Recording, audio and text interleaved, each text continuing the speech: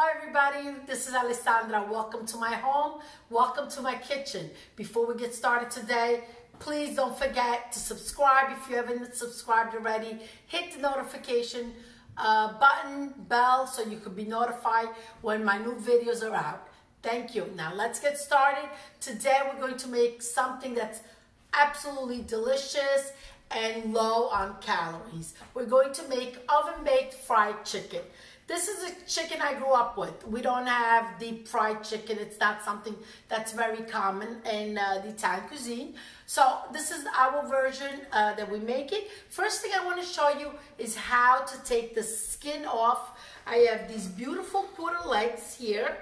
And what you need, you will need uh, some paper towel. So go ahead, dry your chicken, okay?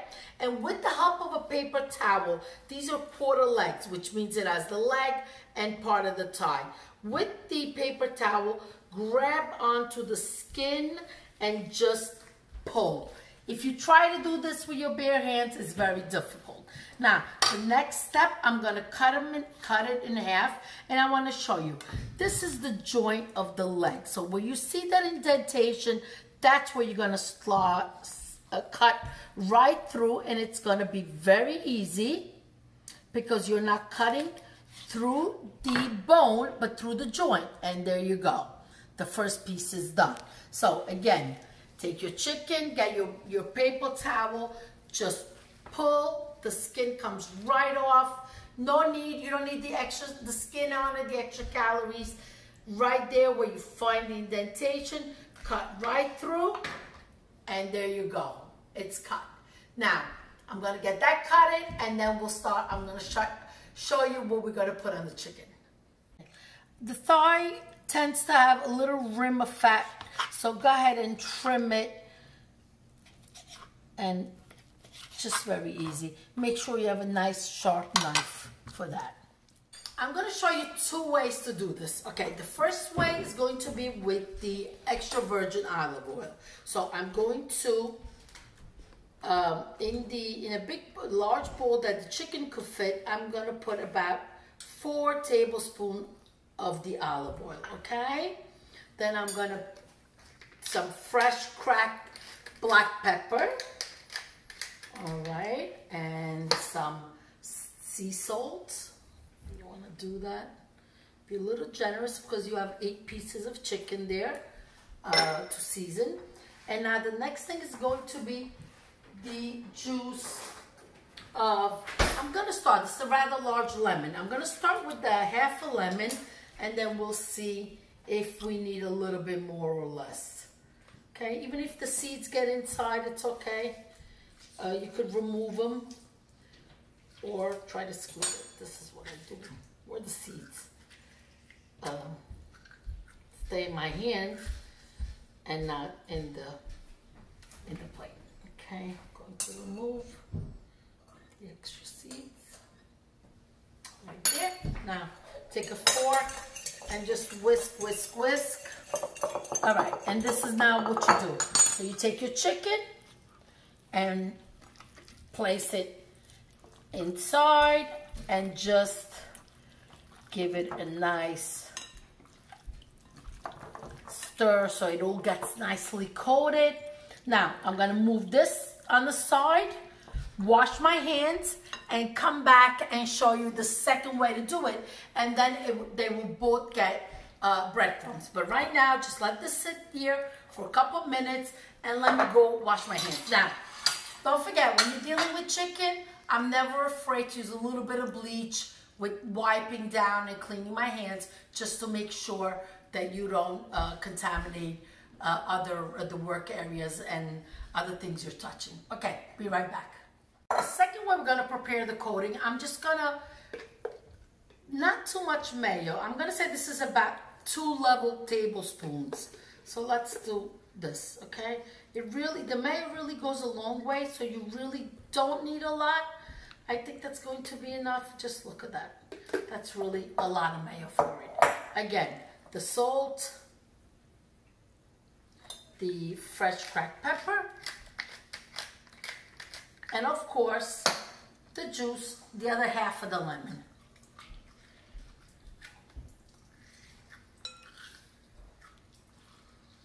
Okay, let me remove some of the seeds.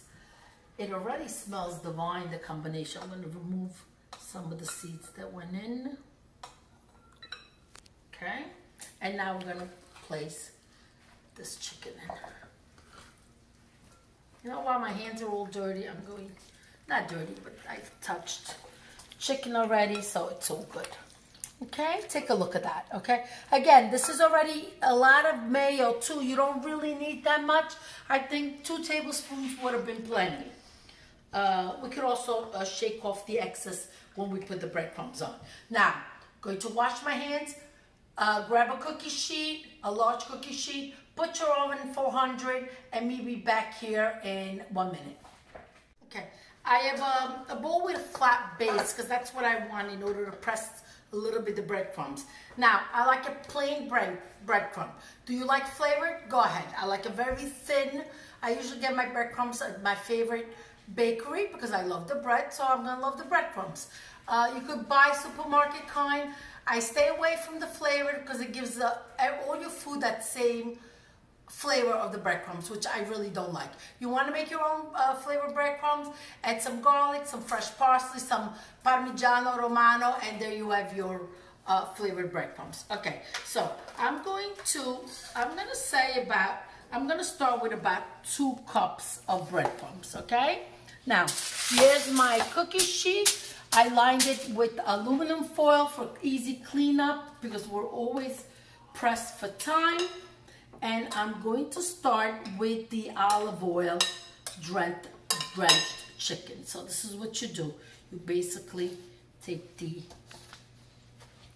put, place the chicken in the, in the breadcrumbs and kind of push it down a little bit. You want it to stick nicely. And there you go. There goes the first piece. Same thing with the drumstick. Okay, there you go. No need to grease your uh, cookie sheet either uh, because it, there's enough. It doesn't really doesn't stick. You want it a little bit olive oil, go ahead, but really not necessary. So I'm going to continue this process and then I'll show you the one with the mayo. I'm at the last drumstick, okay? So I'm going to roll it in the breadcrumbs, okay?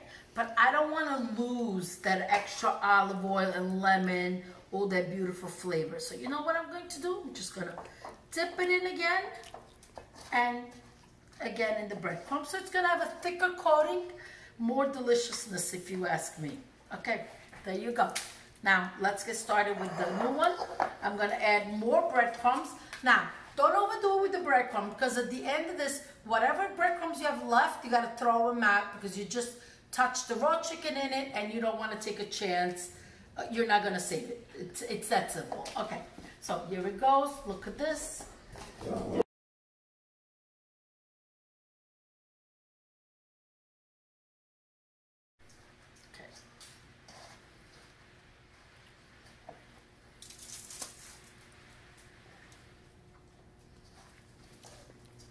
With the mayo, the, the breadcrumb is a little thicker on it. It creates more of a coating than with the olive oil.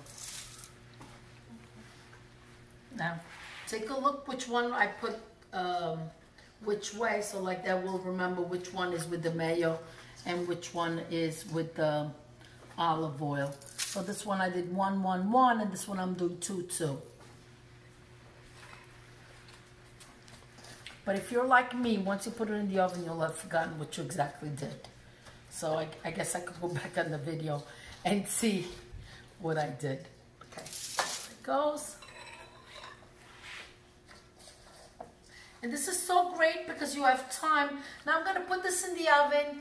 It's gonna take a little bit to cook. We'll check on it. Again, I don't time anything, but tonight I will. And that frees me up to make a side dish. I have some mushrooms in the fridge, so I'm just gonna slice them up and saute them. Um, not sure, I'll, I'll ask my uh, editor, my husband, the videographer, if he wants to tape that, or we just leave it with the uh, fried, uh, oven fried chicken recipe. What do you think? Should we do it with the, okay, all right. He says, okay, I guess he's not very hungry yet. So I'll go ahead and saute the mushrooms too. Chicken on four, uh, oven on 400, chicken in the oven, in the middle rack, and let's check in a little bit. I have a pound of white mushrooms. You can use the baby bellas, they're wonderful. Don't submerge them in water because they will absorb water and that's not a good thing because uh, mushroom is all water as it is. So what I do is with a wet paper towel, I just rub any of the uh, soil off. Now, what I have a skill, a saute pan on, I have it on medium low heat and no oil, no nothing, just start, start slicing your mushrooms right in. And what that's going to do is the heat is going to uh, have them release water and that's going to start the cooking process. It really goes quite quick. Uh, so again, just slice all your mushrooms in. I already have the, the pot on. The stem sometimes is full of the soil, so you just slice it off. But otherwise, just with a wet paper towel will do the trick. Once you cut them all, uh, higher your heat on high. So that, that, you know what that does? It releases the water and lets it evaporate quickly. Okay, so take a look at that. See? Look how great they look already. See how the water kind of gets released and evaporated. Do this process for about three, four minutes, and then we will add garlic, garlic, sliced olive oil, just a large clove or two small ones, and I'll go in the garden and pick some fresh parsley and chop it up at the end because it really goes well. Garlic and parsley goes really well with mushrooms. Water is all evaporated. Just let's add, I'm going to say a couple tablespoons of the um, extra virgin olive oil, large slices of the garlic. And now that the water is evaporated, you see that the garlic will start, uh, the garlic and the oil will start frying. And now it's time to saute the mushrooms. I'm going to add a quarter of a teaspoon of sea salt. I think that should be enough. It sauteing. A little bit of fresh cracked black pepper. And guess what? They're ready to go. Let me go get some parsley and I'll be right back. Fresh parsley bunched up, okay? Just like this, I roll it up. And what I do is right over with a knife or a scissor, I snip it and I chop it like this. Quick, quick easy. Because if you do larger amounts, I know getting out a, uh, a, a, big knife and a chop a, uh, a board, but like this, you don't need it, okay? Now, I'm gonna just give it a final stir, shut off the heat, and the mushrooms are ready. You know what? I'm tempted to taste them.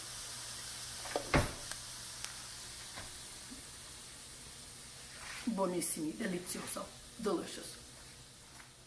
Okay, here it is. How good does this look? Wow. So, this is, if I remember correctly, this is the mayo one and this is the olive oil one.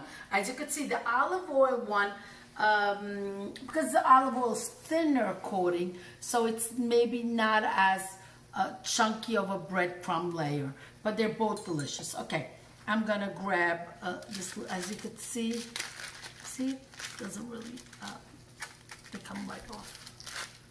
Okay, remove the piece of the lumen too. Gotta be careful. All right, so I'm going to taste it. It's moist inside, uh, so well crunchy. Mm. Uh, you know what? I'm gonna grab the leg from this piece.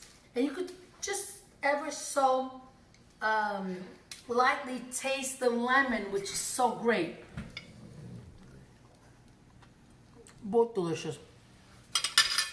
I really don't know which one is better. It's just a question of preference, or maybe you don't have mayo in the house, or you don't you want something simpler, which is would be the olive oil. Well, anyway. Thank you so much. It's great with the mushrooms on the side. It makes a great dinner.